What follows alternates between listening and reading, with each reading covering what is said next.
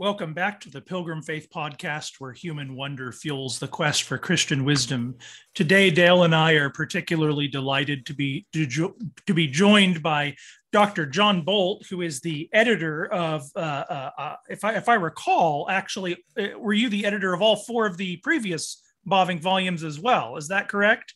I was, yes. That's where it all got started with the yeah. Reformed Dogmatics. Re- Reformed Dogmatics, and now uh, the second volume of uh, Reformed Ethics that uh, right. Dale and I just got in the mail. And so uh, uh, Dr. Bolt has been obviously then at the forefront of uh, this recent Bavinck Renaissance, which which you know Dale and I try to keep up with the Bavinck Renaissance, and so this is uh, one way of doing it. Maybe one way of getting into to this volume that I, I find fascinating is I suppose uh, uh, your own background, your own work, if I recall, is in Bavinck's notion of the uh, imitation of Christ uh, in his theology, and so uh, you know it's it's fairly close to the the project of ethics. And uh, I'm I'm kind of curious how many how many Bavinck scholars writing in English were there when you uh, when you uh, you know did your dissertation? Were there was he the subject of many dissertations in English at that point, or was that well, pretty rare? No, it was very rare. Um, in fact, uh, there were only, well, uh, there were uh, four, I guess, living uh, theologians who had written dissertations on Bavinck.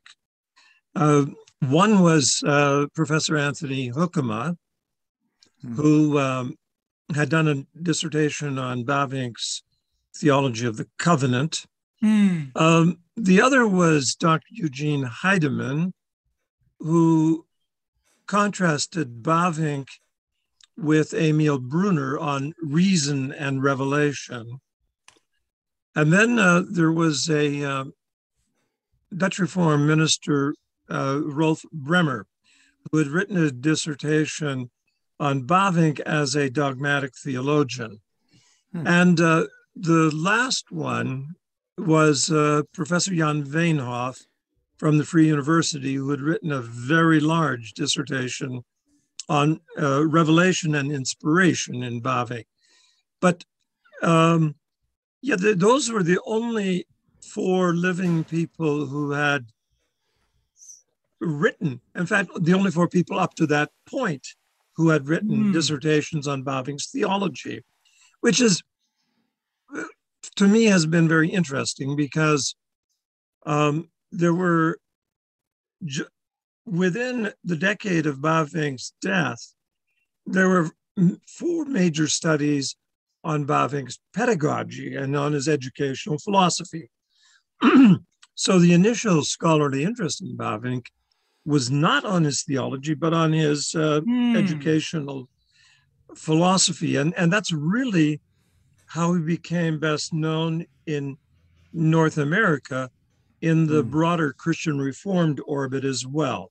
It was the Christian school uh, teachers and the Christian school professors of education at Calvin College who brought Bavinck's pedagogy uh, to the awareness of teachers in North America.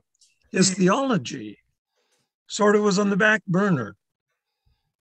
Um, so, which is strange because uh, Bavinck was best known in the Netherlands, of course, too, for being a theologian. Mm-hmm. And yet, uh, in the Netherlands, I, there are reasons for that because in the Netherlands, after Bavinck's death, uh, a number of uh, several different sort of forces or streams of thought led to Bavinck not Bavinck being seen as someone who is useful for his time, but no longer mm, uh, really one who is speaking the modern theolog or meeting the needs of modern theological uh, students. And that was in the Netherlands. Um, on the one hand, there was um, Professor Klaas Schilder, who was nervous about certain scholastic elements in Bavinck's theology, as he called it. And then there were the, um, the, the, the, philosophers led by Herman Dooyeweerd and mm. uh, Vollen, Dirk Vollenhoven, who also um, felt that this old, what they called scholastic theology, needed to be updated. And then in the 1930s, uh, when uh, G.C. Berkouwer began his um, work at the Free University, he really tried to do theology in what he thought was a more biblical mode. So those factors all sort of came together to kind of push Bavinck, the theologian, to mm. the back burner. Interesting. It's it's interesting that uh, that was the sentiment, at least in the Netherlands, about his uh, his utility for the modern age. One thing that Joe and I have talked about on the podcast privately, and Joe's actually written about it, is one of the more compelling things about Bavinck's theology and his general thought is that it's so applicable. It's as if he was looking at the modern man and writing to us from from his position in history and telling us things are on the horizon. Here's something to consider. And it seems like he was more interested in speaking to the modern man than most of the uh, theologians at the time, at least in the Netherlands. Um, so that's just one. It's curious that that's how he was interpreted. You know, sort of, you know, after his death in the Netherlands. Mm-hmm. One one question I think uh, to riff off of what Joe was beginning to ask you is, with your work in your dissertation on Bavinck about imitating Christ, did you find that there was significant overlap with your previous studies on that dissertation and the ethics that you're editing? Oh yeah.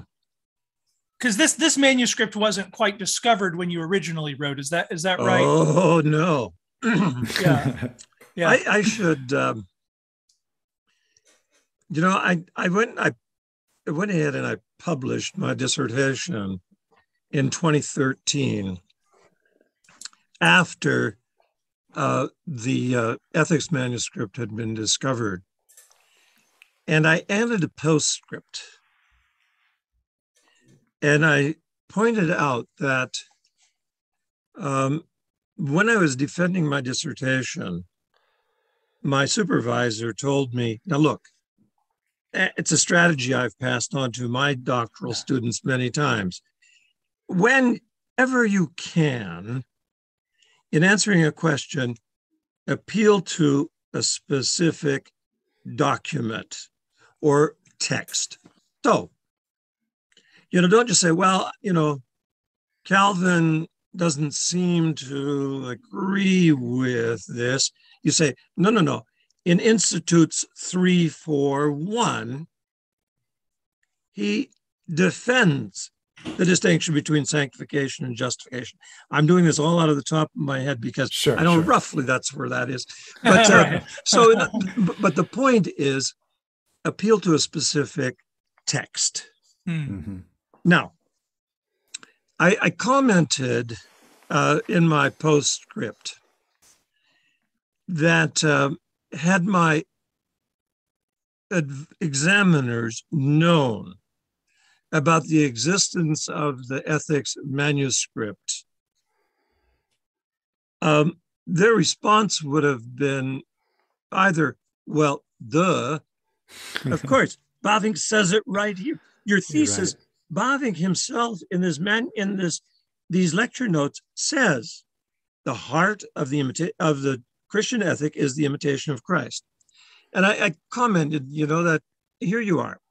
And arguably, you know more about the subject of your dissertation than anybody else, including your examiners. Hmm.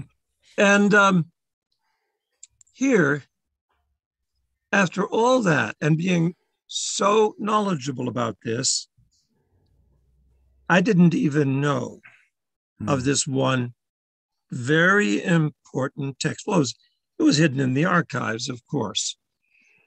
But I, had they known about it, they would have said, "Well, you know what, Bolt, you got to go back and you got to start all over again because your the thesis of your dissertation is so obvious. Hmm. All this work you did really doesn't matter."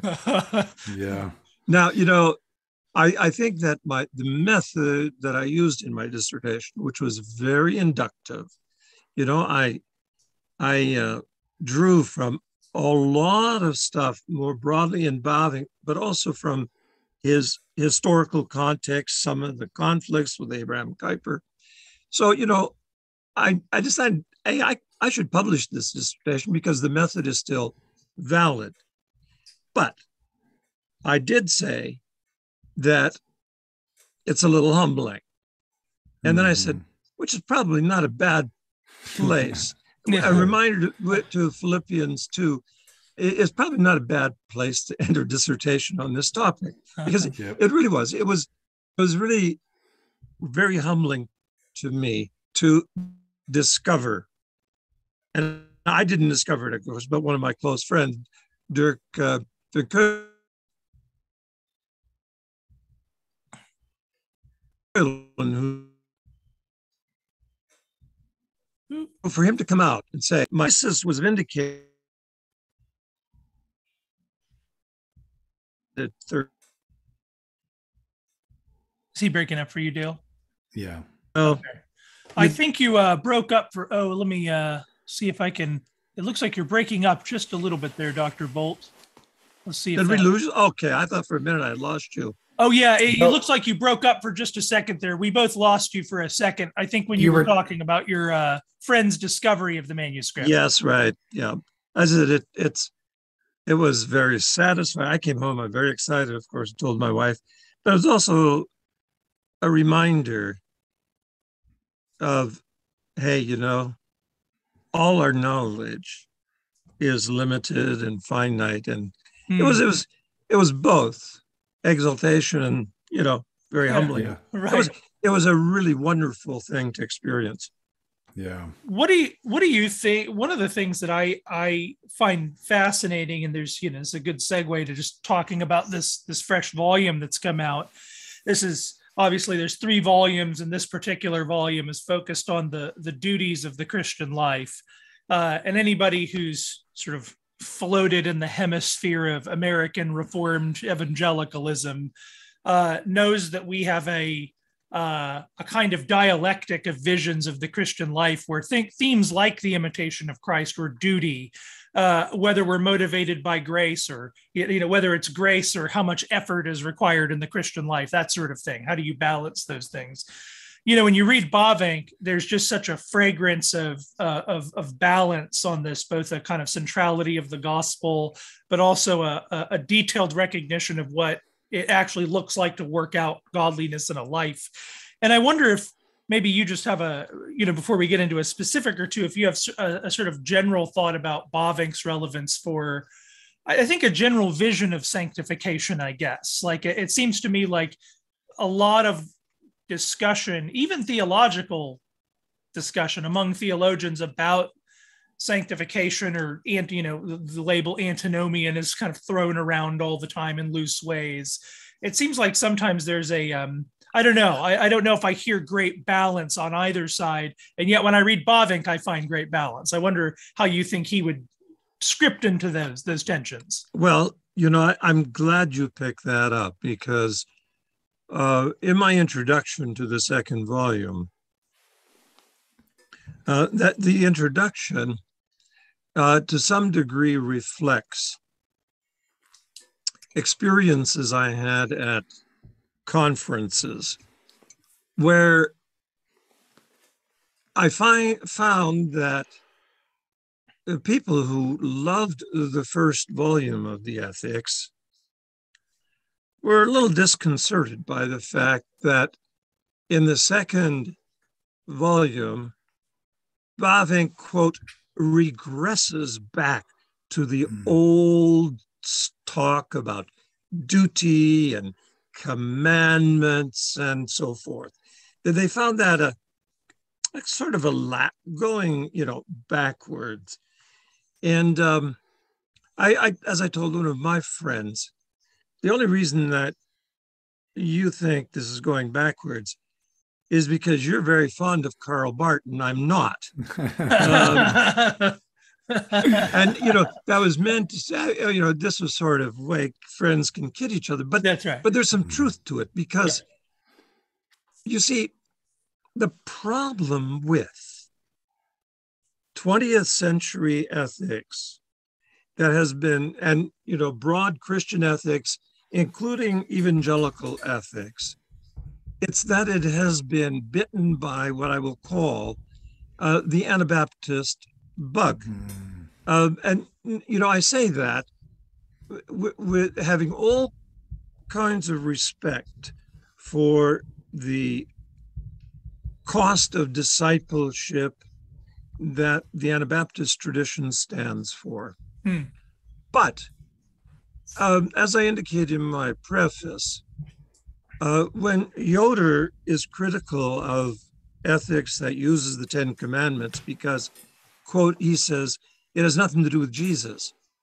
First of hmm. all, I think he is theologically simply wrong. Yeah.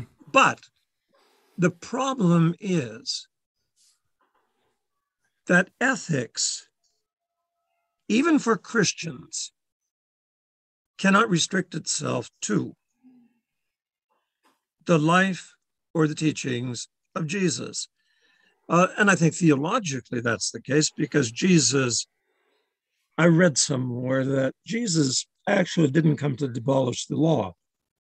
right. but, you know, I think I heard that too. As yeah, yeah. yeah. Oh, good. I'm glad. I, you know, I'm not mistaken about that. yes. It, the the idea, you know, Jesus affirms the fullness of creation, so it's for Christians. It's not sufficient, but especially if you ask yourself the question, what about people who are non-believers? Neither Jews nor Christians do not consider the Bible in any sense to be relevant to their ethics. Do they have no guides at all in their lives? And the answer is, of course, from we know that from experience, but we also know it from biblical teaching, Romans 2, uh, that, you know what? There is a way in which we are created Mm-hmm. That we have an affinity for, a capacity for discerning moral, what's morally right from what's morally wrong. And so, of course, you know, I mean, I think of the Jesus many, you know, but I say unto you, and he intensifies and he makes um, commandments like hatred, killing, and adultery, and so on. Uh, much deeper with his drawing out that we bear these sins in our heart. But an ethic, a Christian ethic, just absolutely needs the law. And so I don't, um, I guess I, I've never fully understood uh, Christian ethicists who want to go all in for union with Christ, um, for character formation and virtue formation, all of which I think are wonderful things and very important. But you know what? Sometimes you just have to tell a five year old child, sorry, Johnny, it's wrong to steal a cookie out of the cookie jar when mommy tells you you shouldn't. Now, you know, yeah, you, you want Johnny finally to develop the kind of character in which he isn't going to do what mommy says he's not supposed to do. But yeah, you know what? In the meantime, hey, yeah, you just have to tell him, thou shalt not. Yeah, you know, this has played a critical, exactly mm-hmm. what you're describing has played a critical role in the way that I parent my children, actually. So, to keep with your uh, analogy, um, I have two children. My oldest is 14 and my youngest is seven. So there's a pretty big gap there. So I learned a lot of things between the first and the second one. Um, and uh, when children are young, they need a lot of law. They le- they need a lot of you should not do that. Do not do that over and over and over again until there's a habituated relationship with the laws of the home when they mature and they start to develop more cognitive abilities and they start to reason a bit more deeply and widely, and you can explain the reasons that undergird the you shall not, then that's called wisdom, right? You're, you're now becoming yes. wiser. Yes.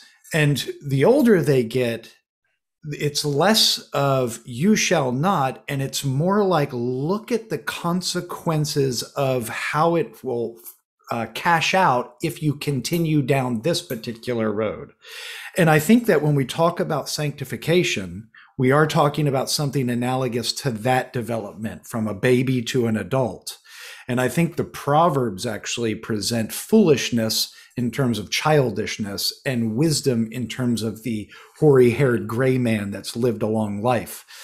Um, so um, maybe at the beginning of our our our journey i hate to use that term so i'm not going to use that term maybe at the beginning of our walk with christ we need the law we need the third use of the law to function more pedagogically and when when we mature then the it's less of a thou shalt not and it's more of a do you understand you understand the thou shalt nots do you understand the reason now more deeply for the, the internalized principle?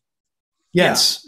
Yeah. yeah. And discipleship becomes more mature in its in the way that it's a, the, discipleship becomes more mature in its method than a simple thou shalt not. But you yeah. can't get there if you don't first start with thou shalt nots, I guess. No. Well, it's in it's like learning uh, scales before you can uh, play jazz hmm. on a piano. No, you know, you know, and, and you know, I'm, I sort of uh, did a bit of a riff on people who get rid of the law, but I mean, I understand that it, it's not useful to think of the Christian life, and particularly not, I would say, then, Christian life in community as a situation where we carry a little book in our pockets with 76 rules, and we've got to say, yes. okay, uh, you know, I don't know if either of you are fans of uh, NCIS, but um, the uh, lead character, played by Mark Harmon, has a series of rules. They're all numbered, and so he'll talk, you know, rule number eight and rule, nine, you know, and the, his his co uh, laborers in the uh, you know, sort of know some of these rules. Now, yeah, I, you know, okay, um, but that's not the way that, in terms of hmm. our relationships with each other, you know, the more intimate they are, they're not sort of overshadowed by ruled behavior, and I, that's right. Um, but you know, there, there's so much that has happened, and, and you know, I'm not retired, but during the 30 years that I taught at the seminary level, so often I would come across people who catch good insights on something, and and uh, you know, if they kept them as a kind of enrichment of an idea, mm-hmm. would really help the church. But then they go mm. and they create these uh, conflicts. Oh, you know what? Yeah. The church is not about maintenance, it's about mission. Mm. Well, slow down a minute. Um, that's not true. It's not true in any organization. right. it's not true for heaven's sake, it's not true of your automobile that you need to go to work. Yeah. And, you know, besides that, to call pastoral care such as the visitation to a dying person and spending hours with a dying person so that they're comforted by your prayers, by family standing around and singing hymns with such a person. That's not maintenance, that's love. I mean, I, yeah, you know, this, this notion that unless you're sort of this gung ho entrepreneurial activist, you're not really doing your mm. job. And I, but all I use, I use that illustration just simply to say that this happens over and again, also again, also in ethics. Not this, but that. Um, it, I used to tell my students, if you run, a, if you ever hear that said, let all your antenna go bzzz because yeah. something's not right. Um, if someone says, well, you know, in addition to, you know, and, and maybe we ought to qualify this a little bit by that, that's helpful. Mm.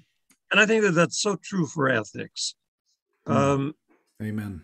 What Bavinck, one of the things I, I detect when I read Bavinck, both in uh, uh, when I was reading Eglinton's recent biography of Bavinck and, and some sections in this, uh, he has a one of the ways in which you see, I think, an, a, uh, uh, a magnanimity and an attractiveness to his ethics is that on the one hand, he's he's he's sort of organizing it in terms of duty, and yet he's working through each of the duties, both in their biblical and kind of natural law content, for back, lack of a better term, yep. to sort of to sort of show their fragrance for the human. The kingdom is the fullness of God for the human each of these duties is actually he expects you know he's he's less the antithesis maker. He's the he's the person yeah. aiming in his rhetoric to say this is just actually attractive. There's a register that the human nature just fires as attractive toward this. But one of the ways in which i think he bathes all of that in the fragrance of the gospel and, and dale and i've talked about this a couple times on the podcast uh, is he has a real pastoral eyeball on human weakness uh, mm. And so he, uh, uh, one thing that was fascinating in the uh, in the Eglinton biography is Eglinton points out that Bavinck gets nervous about developments he sees in uh, Dutch pedagogy because the spirit of competition and the allergy toward the weak he saw developing and kind of anticipating in, in concert with the German spirit, right? That's going to be developed. Yes that that whereas the christian ethic has always stared at the weak and said hey you strong bear with the weak guys who have a harder time. And all through this his discussion of suicide for instance there's a, a kind of a beautiful line where Bavinck says something to the effect of we don't judge a person for a single action. Ultimately god's judgment is for a whole life.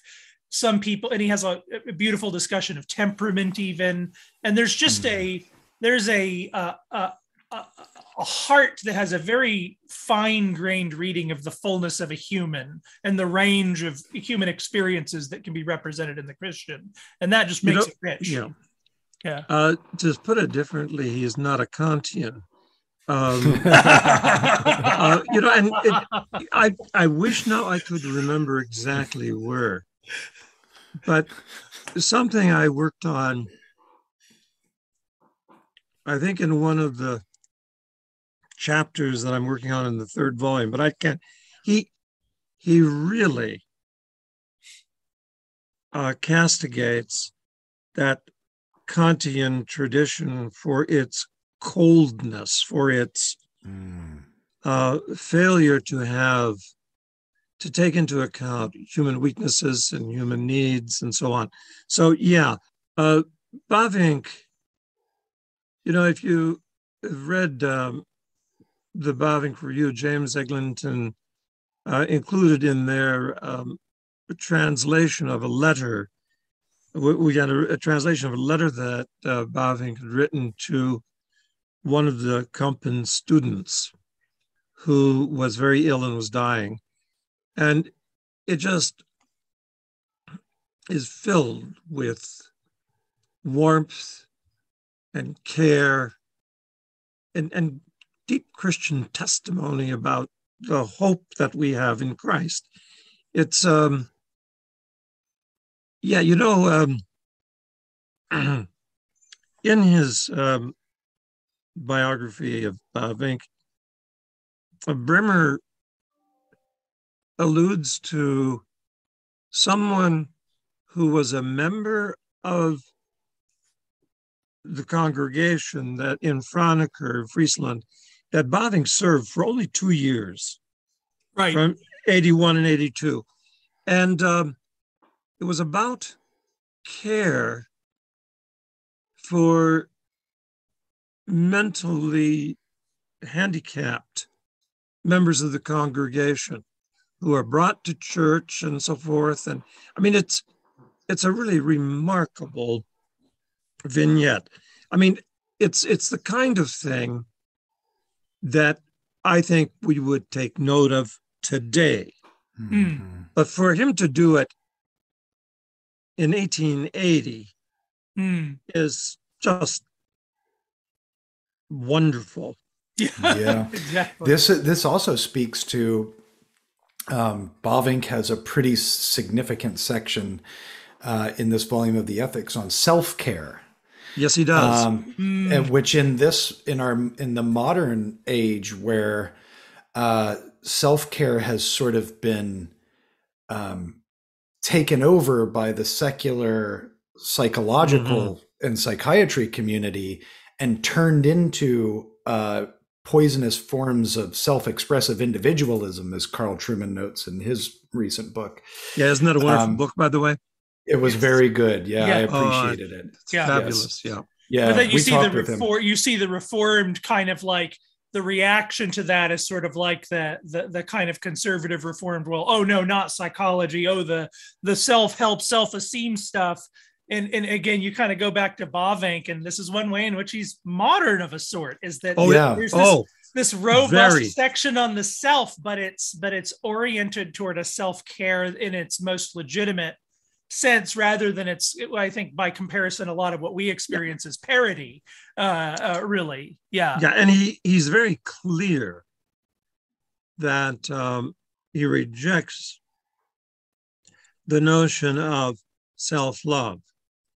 Right you know that, that there were ethicists who were doing that you know saying well love your neighbor as yourself.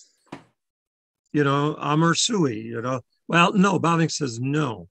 Um, I mean, he explores all that. He does and, explore and, you know, it. Th- this yeah. is the thing that yeah is so magnificent about him. He when you're reading him and he's summarizing somebody else's point of view, you have to really watch that carefully because you think, Bavinck thinks that. No, no. Yes. He's he he summarizes good. other people so fairly. Yeah. Which is, yeah. I mean, in, in that respect, I find not only the actual content of mm. this uh, work of Bavinck's on ethics very helpful. I mean, I found the first volume, the uh, chapter, especially the chapter on the imitation of Christ, but also the, the, the material on conscience. That that's the part that really took me the longest time to edit carefully because I was working with Bavinck uh, citing um, uh, John Owen and uh, oh come on the other now the name escapes me um, the, the Puritan uh, not Owen, but Cromwell. It can't be Cromwell. It was Owen. oh, it is Owen. Okay. It is Owen. Yeah. Yeah. Okay. Yeah. And the casuistry, cases of conscience, and so on. And uh, ah, hmm. I, you know, he he cites all this stuff, and he uses an edition that's in Dutch from 1650 Calvin was one of two places in all of North America that had a copy of that in its rare books room. Mm. So I would be sitting down in the rare books room and I'd have my laptop with the Latin text. I'd have uh, uh, the English translation next to me, and I'd have this 1650 book with hmm. pages that were still almost pristine. No acid used, of course. And I'd be doing this back. It was fun. I even got a couple of my students involved in doing it, and they thought it was fun too. Yeah. Um, but what Bavinck does on conscience hmm. is I, I have not seen anything in recent works on ethics that picks up.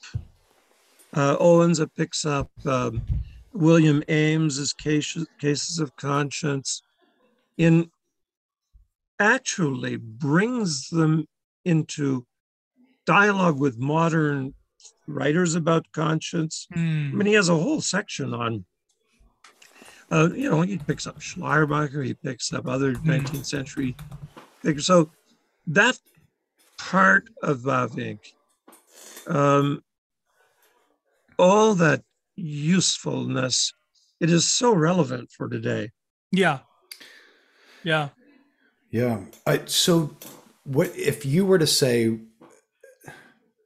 what is the what is the point so you mentioned because i noticed this when i was reading bavinck on self-love and i actually uh, got into a bit of a disagreement with a friend of mine because i was like no bavinck affirms self-love and he's like no he doesn't i'm like i'm reading bavinck right now on self love.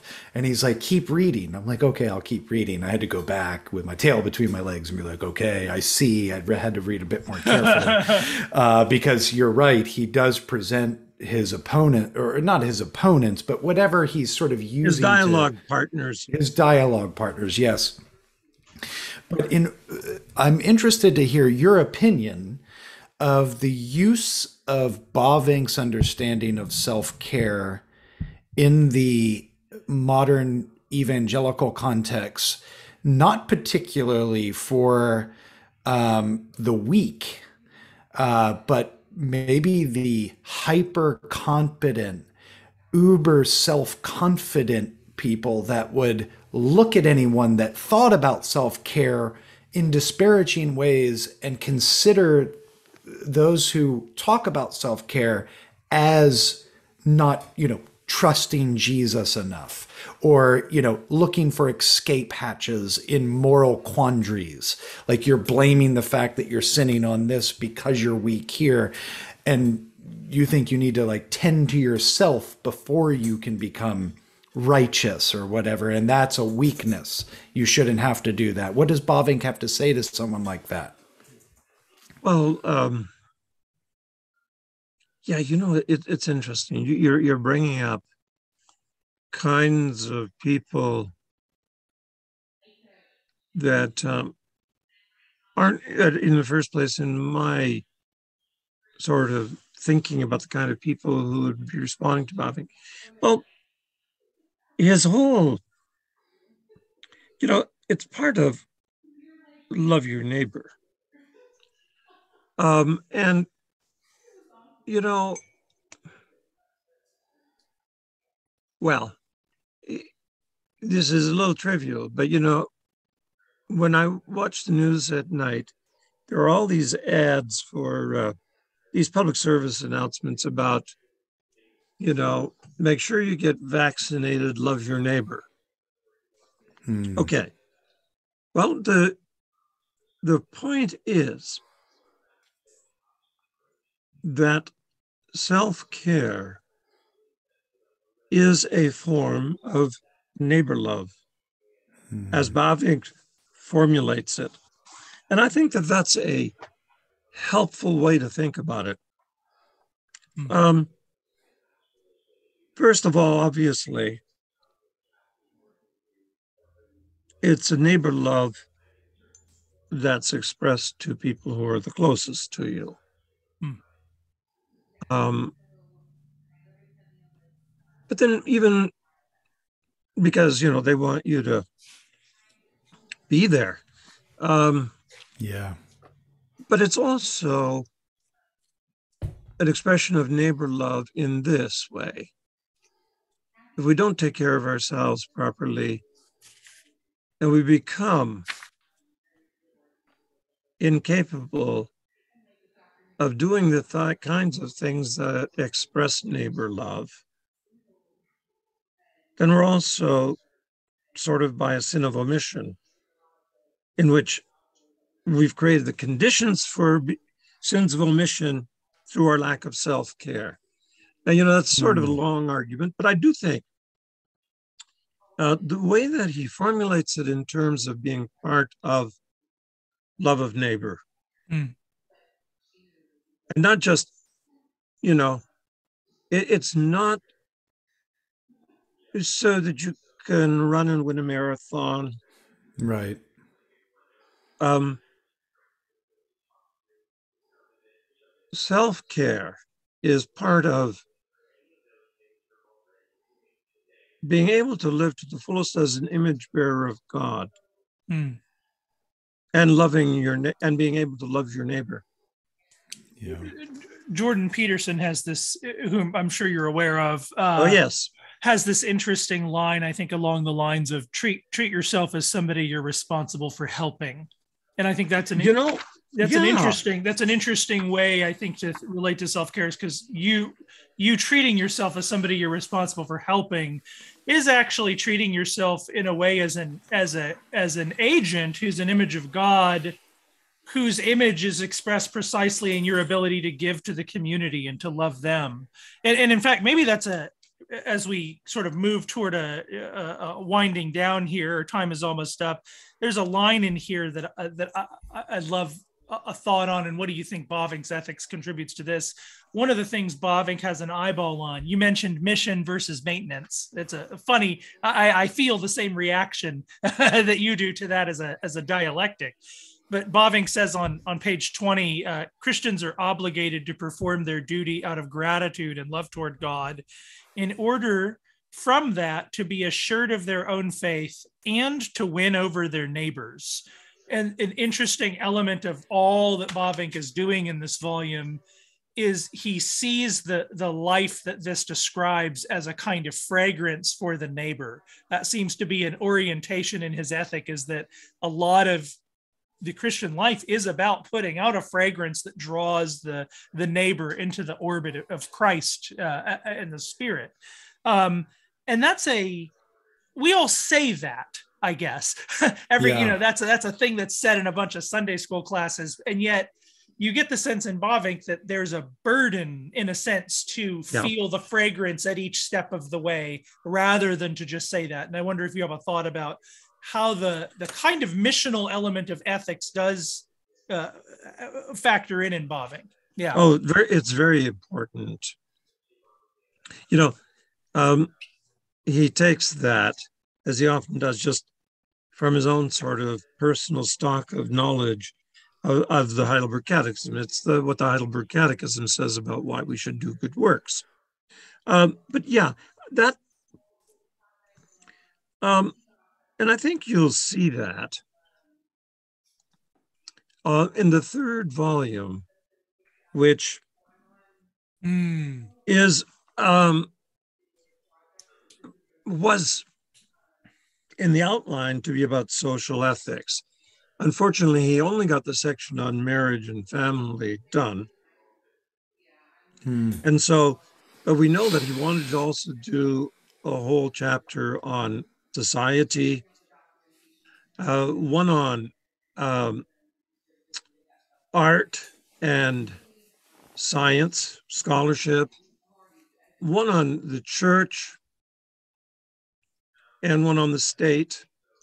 So, what we're doing for that third volume is that the chapters in which he gave us the title and indicated what he wanted, we're filling it in. I'm I'm sort of creating a uh, composite of Bavinck's writings ah. on that, those topics, mm. and um, you know, filling it in with a narrative, and it, it, it's very clear where my narrative starts and where Bavinck's own words they'll be set apart in italics.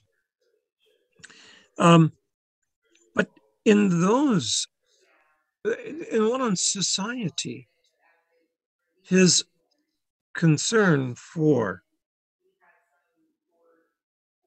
things like justice, but also for things like the diaconal ministry of the church, um, in education. Hmm. We, you mentioned already, you know, his his concern to take seriously the developmental levels of children and also to take into account the, con- the confessional uh, diversity so that parents have the freedom and the opportunity and resources to uh, have their mm-hmm. children educated in their own uh, beliefs. In all those things, the ethical push outward is is very important. Hmm. Um, I've been working on the one on science and scholarship, um, and I've taken a lot of material, which I've then translated from a um, larger work called Christelijke Wetenschap or Christian Scholarship. And um, he, he explores, you know, positivism and the modern, more naturalistic kinds of scholarship. And one of the things that runs through this as a critique is that they don't really help people uh, you know, scholarship for the sake of scholarship on its own. He mm. dislikes. Right. Um, I mean, he's for pure science and all that, but he always it's for life tries yeah. to place it in the context mm. of a nation and a community. Mm. So yeah. it's in those um, in the third volume. I think you'll see much more of that. Mm. And by the way, I d- double checked it. It's William Perkins that I was thinking of, not John. Uh-huh. Oh, okay, gotcha. Yep. Yes. Yep. I was going to say that, of course. So of course, Dale was going to say Perkins. Yeah. yeah I just. Yeah. yeah. No worries. so my mind. Yeah. No, well, Dr. Bolt, let me. Um, this will be the last question I have for you, and then Joe, if you want to. No, I'm good. Um, and this is more for you personally, um, as a Bond, as a Bavinck influenced um, man who is full of wisdom. Um, what would you say are some of the things that younger Christians looking at the future, let's say the Lord tarries for another 5,000 years, uh, with all of the ethical questions on the horizon that future generations are going to have to parse out within the church, things like AI, IVF, all of these sort of gray, unknown areas where Christian ethics are going to have to give a voice. Is there anything that you could offer the younger generation coming up uh, as a way of uh, guiding principles that they should keep in front of them? Uh, that's both rooted in orthodoxy, but also an eye towards the modern world. Okay. Um, well, I, eh, not necessarily in any order, but mm-hmm. I think the first thing is I think the key to good Christian ethics is anthropology. Uh, in other words, I think a really grounded understanding of what it is to be a human being. Yes. I think that obviously has to be grounded, first of all, in scripture, the image of God, and everything that scripture says about human sinfulness. But then it also, I think, maybe the most important thing for Christian ethicists is to really be grounded in the wisdom of the Christian tradition. Um, I think one of the biggest mistakes that's made is to think that, well, we've got all these modern questions that obviously uh, Herman Bavinck, Jonathan Edwards, and John Calvin, not to mention St. Paul, knew nothing about. So, therefore, I'm going to study bioethics and I'm going to become, get a really a good degree in biology and well, and you know, then, okay, obviously, you have to know if you're going to be a bioethicist, you have to know biology. Sometimes Christians say stupid things, and that's, that's, that's not helpful ethically. But you know, when I think of people that I really value um, as Christian bioethicists, I think of uh, Gilbert Meilaender is one. Uh, they know the Christian tradition. They they're just rooted in a especially a Christian anthropology. What does it mean? To, and you know, Christians are going to be the only ones left standing who are going to continue to defend the dignity of every human being. Mm. Uh, the utilitarians are among us. And um, we're getting this Nazi idea of uh, Lebenswert, you know, a life right. worth, worth living. living. Well, yeah. Um, you know what? Is this person a human being? Yeah, well, I guess. Well, I'm sorry. The fact that they have Down syndrome or the fact that you know, they are unable to walk or whatever. Yeah, life unworthy In of life. In no yeah. way do Christian. I mean, you know, I one of the things I have frustrations with is that Christians are getting caught up in all the trendy worries of this day, all the apocalyptic anxiety about climate change and so on. Well, you know, I'm I'm firmly committed to saying we have to be as responsible stewards of God's world as we can possibly be. Uh, my son's an architect, and he has designed a number of LEED certified schools. I'm profoundly grateful for that. I believe in that. But you know what? If we concede to the killers among us, hmm a rising ocean is not going to be our biggest problem. It's going to yeah. be the world equivalent of sticking COVID 19 people in nursing homes because they don't matter that much. Hmm.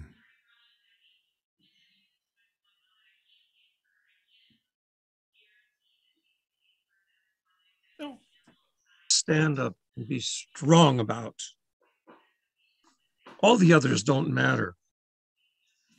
Yeah. Yeah.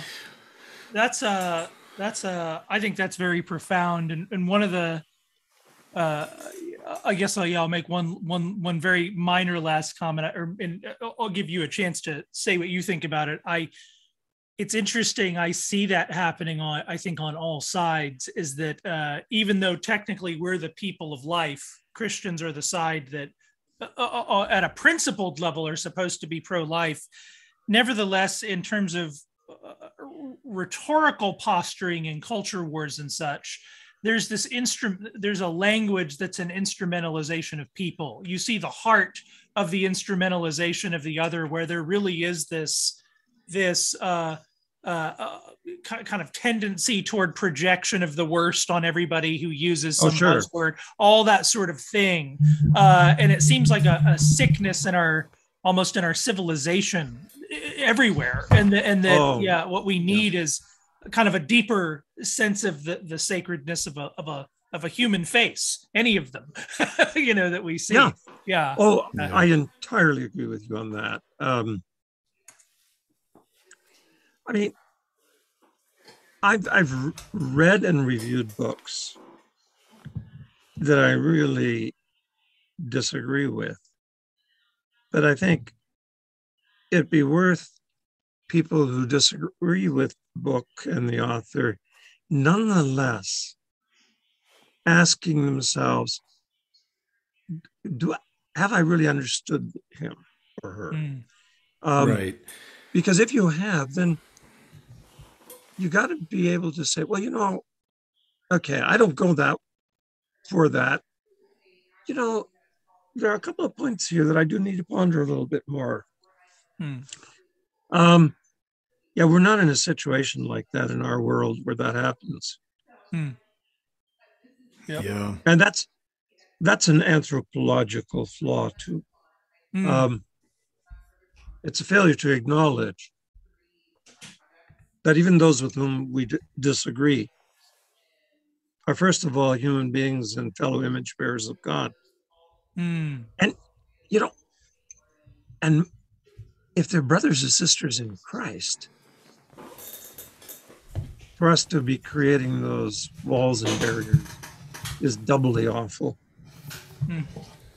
Yeah. Yeah, I we could have a whole nother podcast That's right, just on this that. subject. You guys, you guys, are wonderful conversation partners and starters. I'd, I'd love thank to. You. Oh, thank you. Oh, wonderful. Oh, that's, that's yes. good to hear. We're encouraged. And, and, thank you, Dr. Bolt. We appreciate yes. your time, brother. And oh, we well, we'll love to have you back on for volume three. Uh, we'll uh, indeed. Yeah, that'll be a while. Um, no, well, here's here's the deal on that. Um, you know, our editorial team gets together was ever since 2015 had got together for two weeks in the summer to go very carefully over this manuscript. Um, in 2020 and 2021, COVID made that impossible. Mm. Now, Lord willing, we are scheduled to do that this summer, if we succeed in doing that, then I should have volume three into Baker by the end of this year or, you know, early oh, good. January, February next year. And then they take usually a good year. Yeah.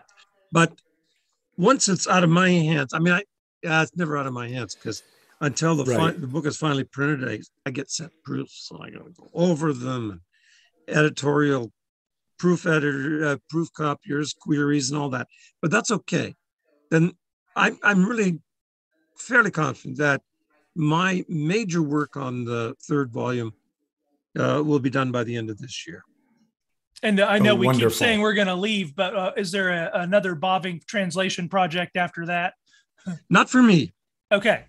No, no. Um, you know, what's so wonderful about the last decade is that all these young Bavinck scholars, Grace Sutanto yeah. uh, and others, Cory uh, Brock, uh, and, mostly uh, students yeah. of James Eglinton, yeah. Um, mm-hmm. they've gone around and they've translated stuff.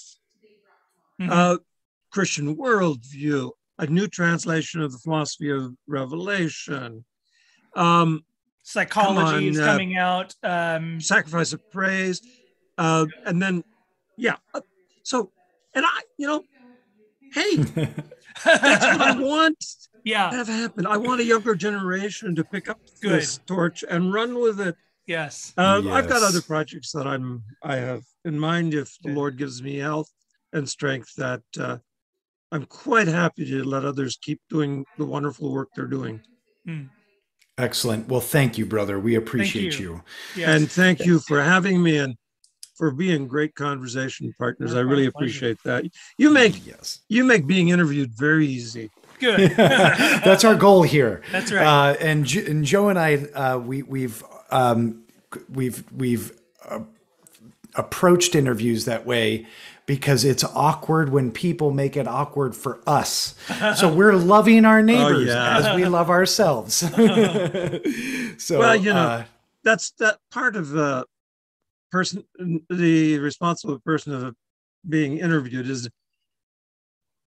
to not be awkward and make other people awkward. I mean, yeah, you know, that, yeah. that's part yeah, of that's right. it's a mutual thing. Let's just not be weird. That's a good, that, that's there you go. Yeah. There you yes. go. All right. Well, okay, uh, thanks uh, thank lot, you, brother. Guys. Yes. And Joe, I love you. Love you too, man. Uh, you guys can always catch us on davenantinstitute.org um, and head over to the YouTube channel. We're on all the podcast stuff. Dr. Bolt, thank you for your time, brother. Thanks. And thank you. Goodbye. Bye.